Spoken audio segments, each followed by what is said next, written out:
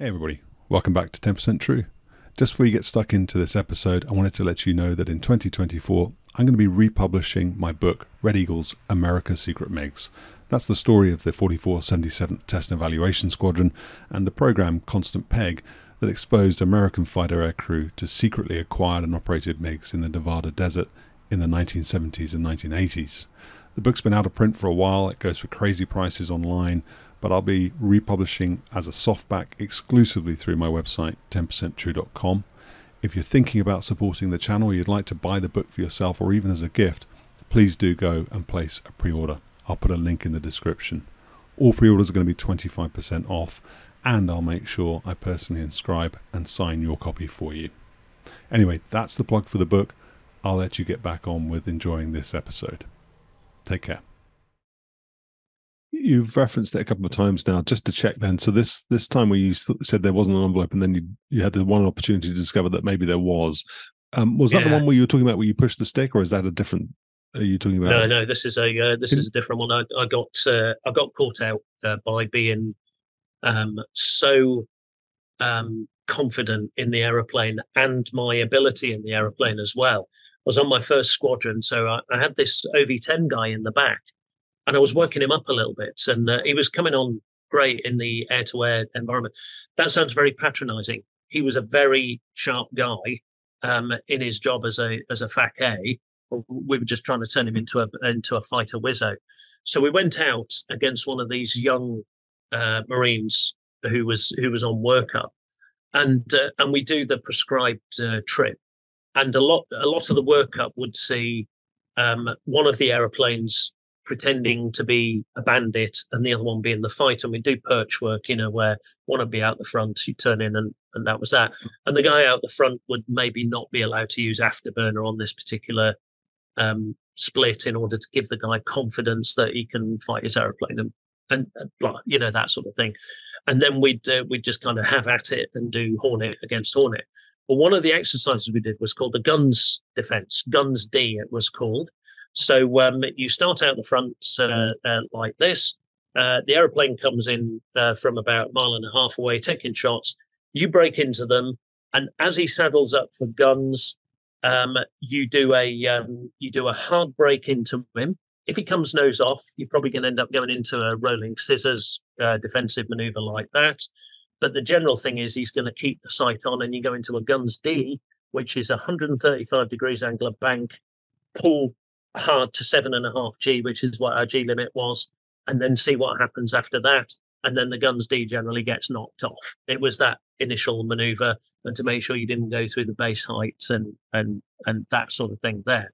Oh God, I say if he goes nose off, you go into a rolling scissors. The Hornet doesn't do a normal rolling scissors. It does this batshit crazy 3D tree rolling scissor extravaganza. You know, it's just it's just not it's not real. Uh, so uh, uh, just want to uh, throw that out there. So anyway, I um I set it up and he does a guns D first. I put him under pressure, and then I'm going to give him the opportunity to take advantage of uh, of somebody. So I might end up going through a guns D as to see whether he can track me through that that guns defense. So anyway, the idea is he's done everything on numbers. It's gone really well. So what I want to do is I want to mix mix it up for him. So the problem that he had was he was great when it ran on rails, like we all are. But when something unusual happened, he kind of went to pieces a little bit. So what I'm trying to do is introduce the unusual to him, but without telling him. So I stand I stand up uh, out the front and I start the turn, and he comes in. And what I do is I do a little bit of deception. Uh, I call no joy, uh, meaning I've lost sight of him, which which I haven't, and I I don't pull as much as I normally would do. So uh, my airplane's not going to come across like that. He's it's going to go like that. He's going to think, oh my god, I'm hacking the corner here. So he's going to take a bigger bite of the cherry, which is exactly what uh, what he did. It's just a little bit of deception that we we uh, played around with. Um, and he'll end up when I break back into him properly with a shitload of angle off, uh, which he won't be able to track through the guns D. So he'll come nose off, and instead of me doing this, I'm going to do this very, very slow speed uh, flick back to the uh, to the left to see if I can flush him out the front. What he should do is take his energy vertical and, and leave me for dead.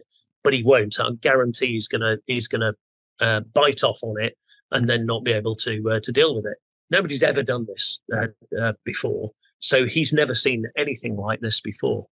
So that's right. So I tell the guy in the back, "This is what I'm going to do," and uh, he kind of goes, "Okay, Tug," you know, because you know he's he's kind of learning on the job as as it is. And um, I said, you know, it's going to be a lot of G snapping, but the other way. So just be ready so you don't crick your neck and all that. He takes a huge bite, okay, and uh, and then I come hard in towards him, and as he flies through, I flicked the aeroplane left, full backstick, full left aileron, and full rudder. Um, by and I was back at idle at this point to try and make the closure even more. Slammed the throttles to burner at exactly the same time, and the left hand engine surged. Uh, so um, this thing with jet engines, you know, flame out the back very good, flame out the front very bad. So we had this huge flame out the uh, out the front, and the aeroplane yawed, uh, flicked, and we departed. And uh, I mean, you you go in some to depart a Hornet, but we departed. The bloody AOA warning was uh, was on. Uh, the um, the displays come up telling you which way to point the stick after it's departed, uh, and such like that. And we've got an engine that's uh, that I've got to uh, I've got to shut down because because uh, it's surged there. It was all all very very unpleasant. Um, and then I um I, I, just let go of the stick, and uh, and the aeroplane recovered itself. So um, you, it obviously thought that you know the chimp fingered baboon in the front has let go. I'll rise my turn now it recovered uh, for us. And no kidding, this this sounds like some uh, crap Top Gun story.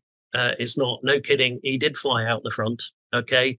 And as I was cracking on, shutting down the left-hand engine, I took a sidewinder shot on him and uh, uh, and shot him down. You know, because a kill's a kill uh, when it when it comes to it.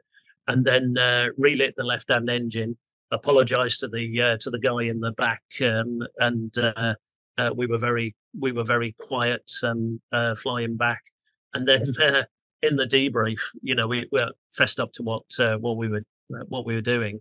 Uh, the other guy shoved his shoved his tape in, and there it was. Our aeroplane went like that with a big flame coming out the front, and then departed.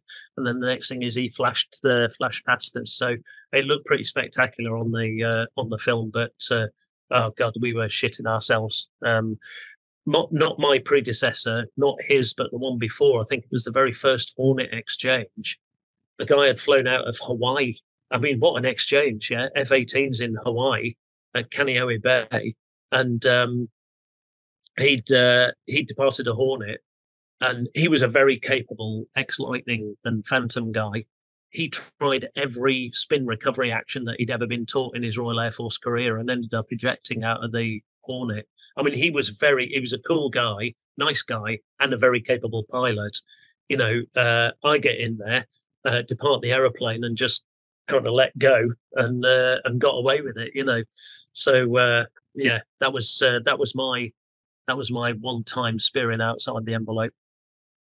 What's the uh, or or are there any repercussions on you for doing that then? So did, did you my, my understanding of the navy and marine culture is that you know they're you know, if it's if it's not written that you can't do it, then you can give it a go. It's yeah, slightly, yeah, slightly yeah. different. So, so uh, did anybody come and have a word with you about that? Did you have a word with yourself about that?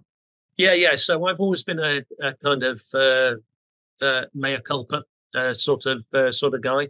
So if I do something wrong, it uh, I I'm always the first to point it out in a debrief because I think if you do that, it takes the sting out of it. You you know you're going to get um, railed on uh, for this. But uh, if you take the sting out of it first, it's not quite as bad.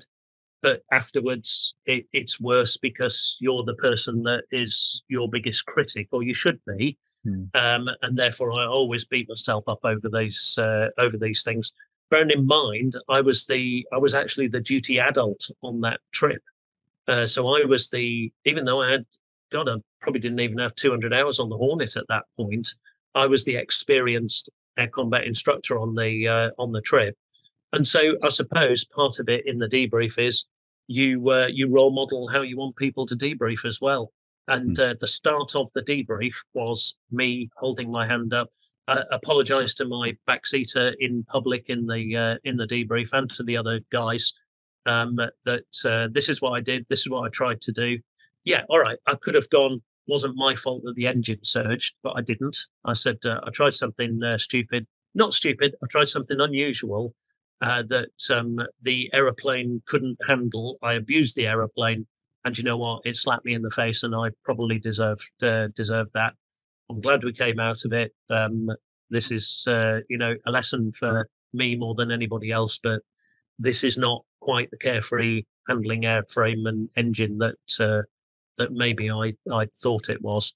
Um, I don't think uh, I didn't get any. Didn't even have to talk to the training officer or anything like that. Shared it around uh, around the squadron, particularly the Australian guy because he was uh, you know more akin to uh, to us and uh, and he was very experienced. He was a thousand hour guy, so um, yeah, just chatted through it with with him as well.